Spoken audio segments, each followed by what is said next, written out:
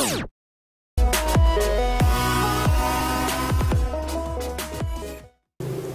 apa yang terjadi teman-teman? Apa yang terjadi? Setelah dibuka, padahal ini di, dilakban teman-teman, ini di, diisolasi, hanya lubangnya di atas saja, hanya di atas saja ini lubangnya, semuanya tertutup diisolasi. Setelah dibuka teman-teman, uangnya kosong tidak ada satu kecuali satu lembar uang dari Arab Saudi real. Bismillahirrahmanirrahim. Assalamualaikum warahmatullahi wabarakatuh. Teman-teman semua, ada sebuah kejadian yang aneh dan langka terjadi teman-teman sekalian. Ah, pada empat tahun yang lalu di lingkungan kami juga termasuk keluarga kami mengalami hal yang jarang dialami oleh orang pada umumnya teman-teman. Yaitu di lingkungan kami rata-rata setiap naruh uang itu bisa dipastikan sebagian hilang teman-teman juga. Termasuk bendahara dari tetangga RT saya. Kalau saya RT 2 tetangga saya yaitu RT 1 nah itu bendahara RT nya teman-teman sekalian. Itu di setiap arisan RT di situ ada simpan pinjam. Uang dari warga yang dihitung sudah pas. Akan tetapi setelah dihitung kembali oleh si bendahara tadi itu selalu berkurang teman-teman kadang berkurang 100 200 bendahara harus tombol ini berlangsung lama teman-teman. Termasuk tetangga saya tasnya kecil tempat duit itu ke WC saja di bawah teman-teman. Nah ini termasuk keluarga saya sendiri istri saya dompetnya. Kalau diisi uang misalnya 350 tuh tinggal 250 150 tinggal 100 itu hampir satu minggu itu dua kali rata-rata. Hari Jumat dan hari apa gitu. Malam Jumatnya diisi kemudian Jumatnya pagi jam sekitar jam 9an itu uang sudah berkurang. Dan uang iuran anak ngaji TPG sejumlah tur 750.000 malamnya ditaruh pas sorenya di bawah malamnya dihitung masih paginya sekitar jam 9 sudah tinggal 450 ribu. Tetapi saya sangat berat sekali teman-teman. Dompet saya itu tidak pernah berkurang teman-teman. Tidak tidak pernah hilang. Saya naruh di uang di dompet saya tidak pernah hilang. Saya juga heran. Nah yang mengherankan lagi teman-teman ini. Yang mengherankan kaleng. Ini tabungan istri saya di sini. Apabila ada uang lebih itu dimasukkan sini. Ada 100 mungkin 200 saya juga mungkin ada lebih 500 saya suruh masukkan sini. Berlangsung lama. Termasuk saya uh, ziarah haji. Dari teman saya yang barusan naik haji nah, saya dikasih kenang-kenangan uang real teman-teman. Nah saya suruh masukkan juga di sini. Tapi apa yang terjadi teman-teman? Apa yang terjadi? Setelah dibuka padahal ini di, dilakban teman-teman. Ini di, diisolasi hanya lubangnya di atas saja. Hanya di atas saja ini lubangnya. Semuanya tertutup diisolasi. Setelah dibuka teman-teman uangnya kosong tidak ada satu pun kecuali uang kecuali satu lembar uang dari Arab Saudi real kecuali ini semuanya hilang.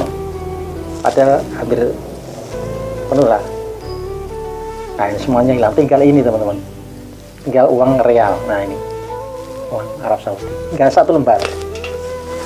Hilang teman-teman nah, mungkin belum pernah uh, terjadi di tempat lain. Kemudian hal ini menjadi resah teman-teman. Menjadi resah. Termasuk kita juga uh, mengeluh bagaimana kalau seperti ini terus menerus gitu. nah, saya aja duduk aja saya bilangin oh, semua uang dari Allah Subhanahu Wa Taala. Kalau diambil dengan izin Allah kenapa kita harus resah? Insya Allah malah justru akan diganti yang lebih banyak. Setelah saya bilang gitu nah tenang. Tapi saya sendiri juga kebingungan teman-teman. Kebingungan bagaimana cara mengatasi ini gitu. Akhirnya saya minta petunjuk kepada Allah Subhanahu wa taala juga minta saran kepada teman-teman senior saya yang ada di Jogja sana.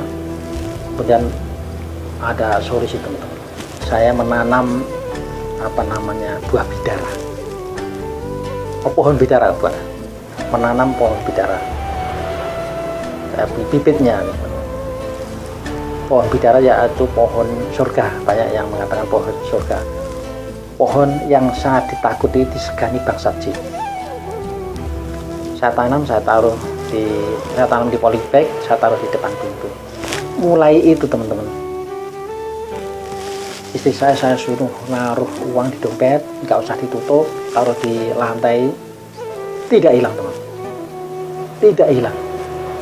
Besoknya lagi saya suruh mancing juga tidak hilang teman nah itu berkat tanaman bidara dan memohon kepada Allah Subhanahu wa taala berkat ridho Allah Subhanahu wa taala. Tanpa ridho Allah Subhanahu wa taala tidak akan terjadi seperti itu.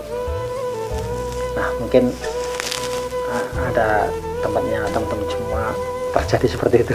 Ini untuk pengalaman nah, bagi teman-teman untuk pohonnya pohon bidara juga sudah nah, banyak yang tahu. Mungkin ada yang belum tahu pohon bidara bisa melihat tanaman saya. Dulu kecil teman-teman sekarang sudah besar. Nah mari kita ke lokasi.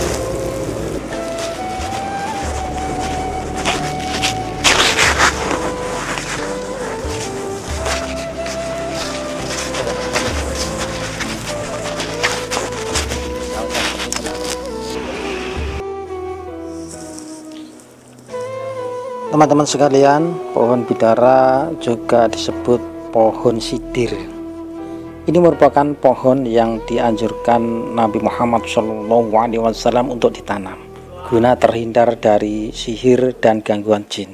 Serta kaya akan khasiat teman-teman yang bagus untuk kesehatan. Jika tanaman lain dikenal hanya bermanfaat untuk kesehatan Pohon bidara dipercaya memiliki kemampuan yang menakjubkan karena daun bidara sangat tidak disukai oleh bangsa jin. Perlu kita ketahui bersama teman-teman bahwa daun bidara juga disebut dalam Al-Quran. Di antaranya adalah di surat Sabah ayat 16, surat Al-Waqiah ayat 28 dan surat An-Najm ayat 13 sampai 16. Hal tersebut merupakan bukti bahwa tanaman ini sangatlah istimewa. Namun jangan hanya terpaku pada pohon bidara itu saja teman-teman sebab ini semua adalah ciptaan Allah Subhanahu wa taala. Jangan sampai kita terharu dengan ciptaannya akan tetapi melupakan sang penciptanya yaitu Allah Subhanahu wa taala. Semoga kita semua selalu mendapatkan bimbingan dan petunjuk dari Allah Subhanahu wa taala. Amin amin ya rabbal alamin. Wallahu a'lam bishawab. Wassalamualaikum warahmatullahi wabarakatuh.